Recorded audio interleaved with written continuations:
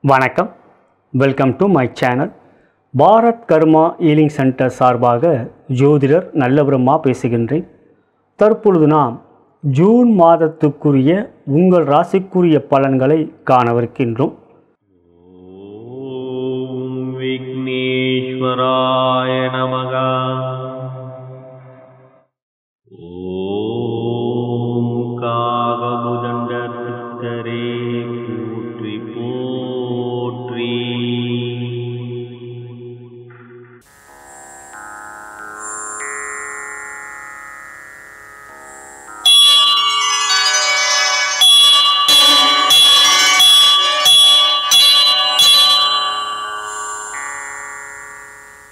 முதலாவதாக மாதா பிதாவை வணங்கி முன்னோர்கள் மூதாதையர்கள் பித்ருக்களை வணங்கி குலதெய்வத்தையும் வணங்கி குருமார்கள் சித்தர்மார்களாகிய பதஞ்சலி சித்தரையும் காகபுஜென்ற சித்தரையும் கரூரார் சித்தரையும் வணங்கி முதற்கடவுளான விநாயகப் பெருமானை வணங்கி வாக்தேவி நாவுக்கரசி அறிவுக்கரசி சரஸ்வதி தேவி தாழ் பணிந்து பாதம் பணிந்து வருகின்ற ஜூன் மாதத்தில் உங்கள் ராசிக்கு அனைத்து விதமான நன்மைகள் மேன்மைகள் வெற்றிகள் சந்தோஷம் மற்றும் யோகத்தை மருள்பாவிக்குமாறு மனதார பிரார்த்தனை செய்து பலன்களை ஆரம்பிக்கின்றேன்.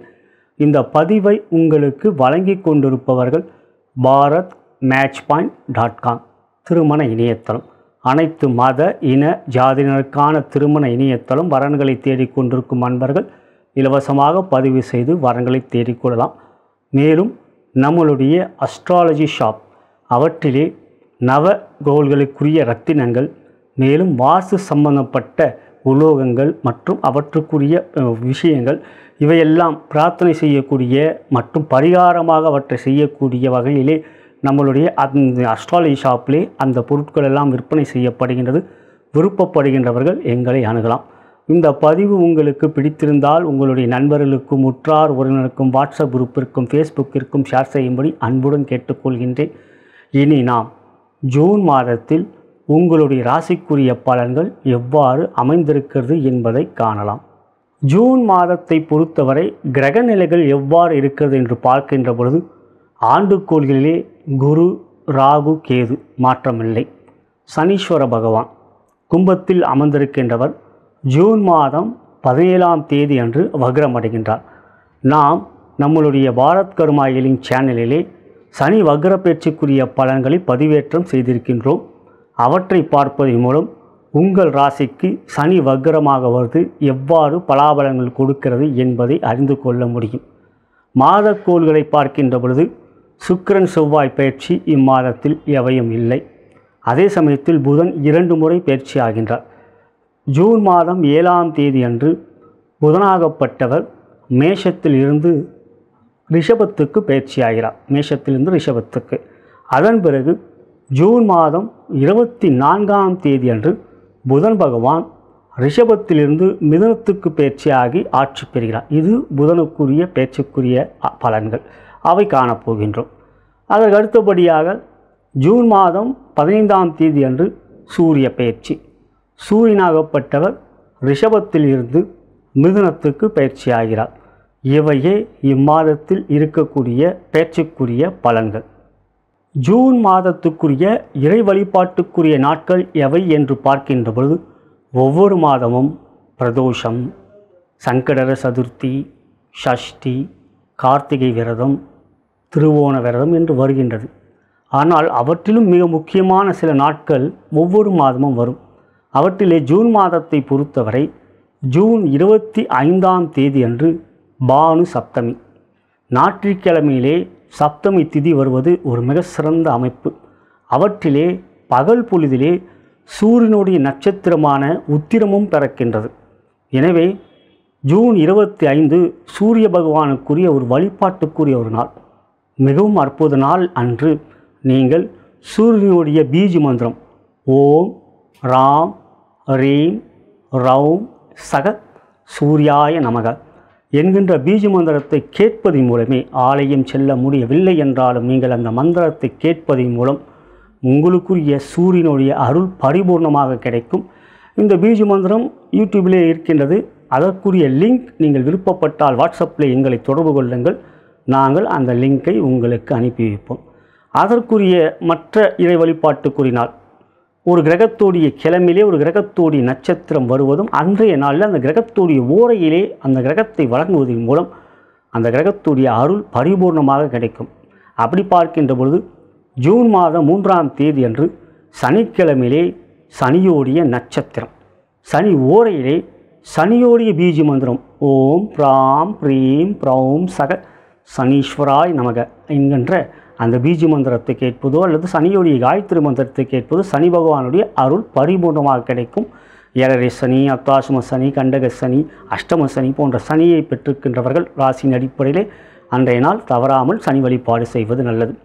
அதற்கு அடுத்தபடியாக ஜூன் மாதம் இருபத்தி ஆறாம் தேதி அன்று சந்திரனுடைய கிழமையிலே சந்திரனுடைய நட்சத்திரம் வருகிறது. அன்றைய நாள் சந்திரன் இரவிலே சந்திர ஓரையிலே சந்திரனுடைய தரிசனம் செய்வது சந்திர பகவானுக்குரிய பீஜ மந்திரம். ஓம் ஸ்ராம் ஸ்ரீம் ஸ்ரௌம் சக சந்திரமசி நமக என்கின்ற மந்திரத்தை கூறுவதன் மூலம் சந்திர பகவானுடைய அருளை பரிபூர்ணமாக பெறுவீர்கள். அதற்கு அடுத்தபடியாக ஜூன் மாதம் இருபத்தி ஏழாம் தேதி செவ்வாய்க்கிழமையிலே செவ்வாயோடைய நட்சத்திரம் இரவிலே செவ்வாய் ஓரையிலே செவ்வாயோடைய பீஜ மந்திரம். ஓம் கிராம் க்ரீம் க்ரௌம் சக மங்களாய நமக என்கின்ற அந்த மந்திரத்தை கேட்பதன் மூலம் செவ்வாயோடைய அருளை பரிபூர்ணமாக பெறுவீர்கள். அதற்கு அடுத்தபடியாக ஜூன் மாதம் இருபத்தி ஒன்பதாம் தேதி குருவோடைய கிழமையிலே குருவோடி நட்சத்திரம் வருகின்றது. அந்த குரு ஓர இரவிலே ஓம் கிராம் கிரீம் கிரௌம் சக குருவே நமக என்கின்ற பீஜ மந்திரத்தை கேட்பது நல்லது. மந்திரம் எந்திரம் தந்திரம். நாம் மந்திரத்தை உச்சரிப்பதன் மூலம் மந்திரத்தை நாம் சொல்வதன் மூலம் பகலவிதமான நேர்மறை சக்திகள் நம்மளுடைய உள்ளத்திலும் சரீரத்திலும் சூட்சம சரீரத்திலும் நிறைந்திருக்கும். எதிர்மறை சக்திகள் நம்மளுடைய சரீரத்திலும் சூட்சம சரீரத்திலிருந்து விலகிவிடும். மந்திரம். எந்திரம் எந்திரத்தை வைத்து பூஜை செய்வது. அந்த எந்திரத்தை வைத்து பூஜை செய்வது கோள்களை வைத்து பூஜை செய்வது எந்திரத்தை வைத்து பூஜை செய்வது இவையெல்லாம் அந்த கோள்களுக்குரிய எந்திரம். கோள்கள் ஒவ்வொரு கோள்களுக்கும் சூரியனிலிருந்து ராகு கேது வரை ஒவ்வொரு எந்திரம் இருக்கின்றது. அந்த எந்திரத்தை வைத்து பூஜை செய்வதும் உங்களுக்குரிய யோகத்தை கொடுக்கும். நீங்கள் அவற்றை பெற விரும்பினால் அஸ்ட்ராலி ஷாப்பில் நீங்கள் தொடர்பு கொள்ளலாம். அவை எங்களுடைய துறை கிளை தான் அதுக்கு அடுத்தபடியாக பார்க்கும்போது தந்திர முறைகள் முத்திரைகள். முத்திரைகள் வைத்துக் கொள்வது ஒவ்வொரு ராசிக்கும் ஒவ்வொரு முத்திரைகள் இருக்கின்றது. நெருப்பு நிலம் காற்று நீர் என்று ராசிகளை நான்கு விதமாக பிரித்திருக்கிறார். ஆகாயம் என்பது அதற்கு மேல் இருக்கின்ற கோள்கள் தான். எனவே ராசி சக்கரத்தை நான்கு விதமாக நெருப்பு நிலம் காற்று மற்றும் நீர் என்று பிரித்திருக்கின்றார்கள். அவற்றுக்கு அப்புறம் நெருப்பு நிலம் காற்று நெருப்பு நிலம் காற்று என்று பன்னெண்டு ராசியும் பன்ன நான்கு தத்துவங்கள் பஞ்சபூத தத்துவங்களை நான்கு தத்துவங்களை கொண்டது. அவை உங்களுக்கு அறிந்து கொள்ள விரும்பினால் அவை ஆர்வம் இருக்க வேண்டும் பூர்வ புண்ணிய பலம் இருக்க வேண்டும். இருந்தாலும் உங்கள் ராசிக்குரிய முத்திரைகள் தெரிந்து கொள்ள வேண்டும் தொடர்பு கொள்ளுங்கள். அவை உங்களுக்கு நான் எளிதாக உங்களுக்கு அதற்குரிய வீடியோவையும் எடுத்துரைப்பேன். இனி நாம் ஜூன் மாதத்தில் உங்களுடைய ராசிக்கு எவ்வாறு பலாபலங்கள் இருக்கிறது என்பதை காணவிருக்கின்றோம். விருச்சிக ராசி அன்பர்களுக்கான ஜூன் மாத கோச்சார பலன்களை காணவிருக்கின்றோம். அன்புள்ள விருச்சிக ராசி அன்பர்களே ராசிநாதன் செவ்வாய் பகவான் ஒன்பதில் அமர்ந்திருக்கின்றார். சுக்கரனோடு சேர்க்கை பெறுகிறார். பிருகு மங்கள யோகம் என்கின்ற யோகத்தை நீங்கள் அடைந்திருக்கிறீர்கள். நான்கிலே சனி அத்தாசும சனியாக இருந்தாலும் ஜூன் பதினேழு அன்று வக்ரம் பெறுவது நன்மையையும் கொடுக்கக்கூடிய வெற்றிகளையும் கொடுக்கக்கூடிய உடல்நலத்தில் இதுவரை இருந்த பாதிப்புகள் அகலக்கூடிய ஒரு நன்மையான வக்ர பயிற்சி சனியோடைய வக்ர சனி வக்ர சனியுடைய நன்மை உங்களுக்கு கிடைக்கும். ஆறிலே குரு ஆனால் குருவோடு இன்னொரு கிரகம் சேர்க்கை பெற்றால் குருவால் பாதிப்பு இல்லை. ஆறிலே ராகுவோடு தான் சேர்க்கை பெறுகிறார்.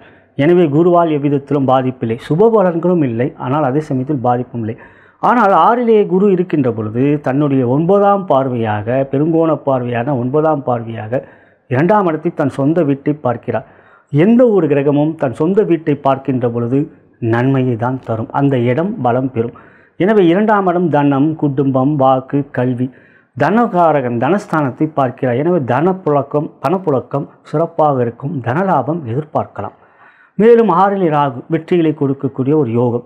ஆறிலி ராகு இருக்கின்ற பொழுது எந்த ஒரு முயற்சியிலும் தைரியத்தை கொடுப்பார். வேக வேகமாகவும் விவேகமாகவும் செயல்பட வைப்பார்.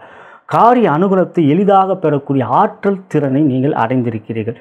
எனவே ஆறில் ராகு இருக்கின்றது யோகம். பனிரெண்டிலே கேது இருப்பது ஆன்மீக தொடர்பு ஆன்மீக பயணம் மற்றும் இறை நம்பிக்கை இவையெல்லாம் இருக்கும். இங்கு சூரியன் உங்களுடைய ராசிக்கு பத்துக்குரியவர் ஏழாம் இடத்திலும் பிறகு எட்டாம் இடத்துக்கு வருகிறார். சூரியன் ஏழில் இருக்கின்ற பொழுது சூரியனோடு இன்னொரு கிரகம் சேர்க்கை பெற்றால் சூரியனால் பாதிப்பு இல்லை. இங்கு ஏழாம் தேதி அன்று சூரியனோடு புதன் சேர்கிறார் பாதிப்பில்லை ஆனால் அதன் பிறகு சூரியன் எட்டுக்கு போகிறார் ஜூன் மாதம் பதினைந்தாம் தேதி அன்று. சூரியன் எட்டில் தனித்திருப்பார். இருப்பினும் ஜூன் மாதம் இருபத்தி நான்காம் தேதி சூரியனோடு புதன் சேர்வார். எனவே சூரியன் இந்த மாதம் முழுவதும் சில நாட்கள் சாதகமில்லை. சில நாட்கள் பாதிப்பு இல்லை. எனவே பத்துக்குரியவன் ஏழிலும் எட்டிலும் இருக்கின்ற அமைப்பு எந்த ஒரு செயலிலும் புதிய முயற்சிகள் பெரிய பெரிய முதலீடு பண முதலீடுகள் செய்கின்ற பொழுது கவனம் வேண்டும்.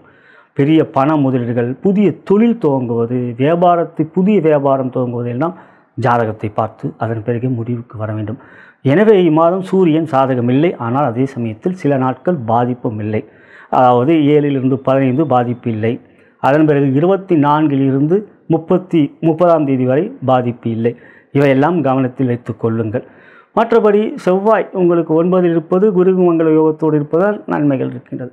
துறை ரீதியாக பார்க்கலாம். தொல் முதலில் விருச்சிகராசியில் பிறந்த தொழில் வியாபாரி என்பவர்களுக்கு நான் ஏற்கனவே கூறியவாறு பெரிய பண முதல்கள் இப்பொழுது தவிர்க்க வேண்டும். சூரியன் சாதகமற்ற நிலையில் இருப்பதனால் அதே சமயத்தில் பண விஷயத்தில் பெரிய அளவில் பாதிப்புகள் இல்லை.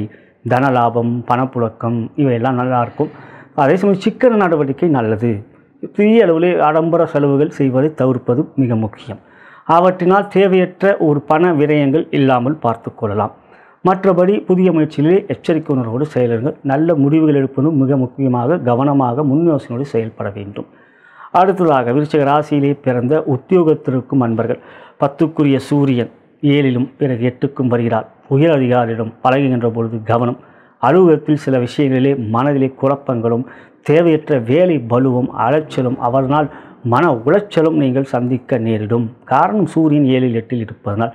எனவே சில விஷயங்களிலே நீங்கள் மற்றவருடைய விஷயங்களை தலையிடாமல் உங்கள் வேலையில் மட்டும் கண்ணும் கருத்துமாக இருப்பதன் மூலம் தேவையற்ற வாக்குவாதம் இரண்டாவாதத்தை தவிர்க்க முடியும்.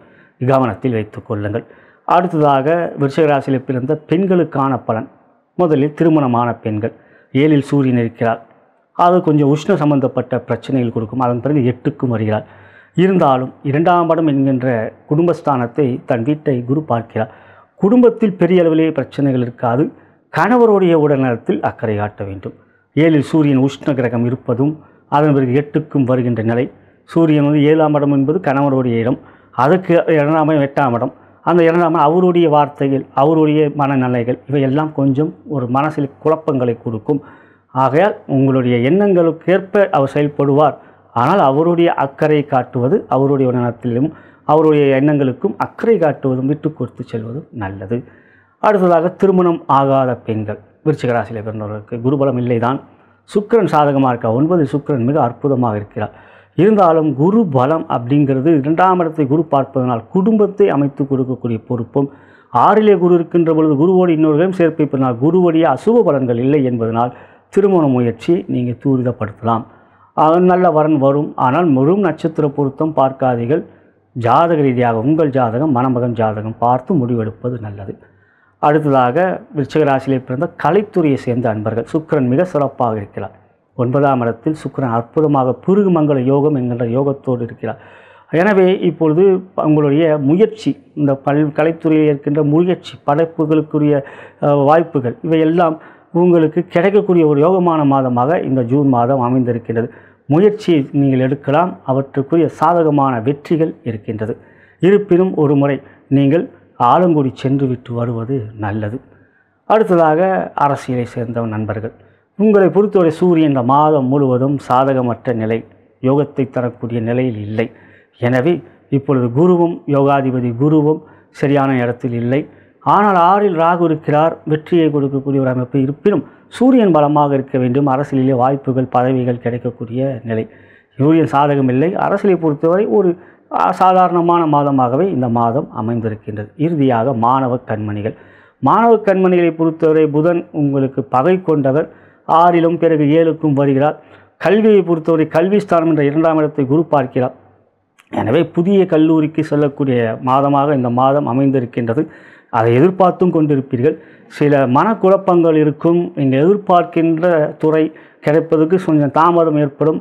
கவலை வேண்டாம். இருபத்தி நான்காம் தேதி புதன் எட்டுக்கு செல்லிவிடுவார். அப்போ தான் உங்களுக்கு அந்த இடம்லாம் கிடைக்கக்கூடியது. மறைந்த புதன் நிறைந்த வெற்றிகளை கொடுப்பார். எனவே மாதத்தின் இறுதியிலே நல்லது இருக்கின்றது. பொறுமை காற்றுங்கள் அவற்றிலே உங்களுக்கு பெருமையும் கிடைக்கக்கூடிய மாதமாக இந்த மாதம் அமையும். இதுவே விருச்சகராசி அன்பர்களுக்கான ஜூன் மாத கோச்சார பலன். இது ஒரு புது பலன். உங்களுடைய ஜனன ஜாதகமே முதன்மையானது. அவற்றின் மூலமாக லக்னத்தின் மூலமாக தசாபுத்தி அந்த மூலம் ஆயிலாகவே உங்களுடைய யோக பலன்கள் அறிய வரும். இவர் தகுந்த ஜோதிடரை எடுத்துரைக்க முடியும். நீங்கள் என்னை தொடர்பு கொண்டு உங்களுடைய ஜாதக பலன்களை கேட்டு அறிந்து கொள்ள விரும்பினால் கீழே இருக்கின்ற அலைபேசினை அழைக்கலாம் வாட்ஸ்அப்லையும் தொடர்பு கொள்ளலாம். நலம் பெறுக வளம் பெறுக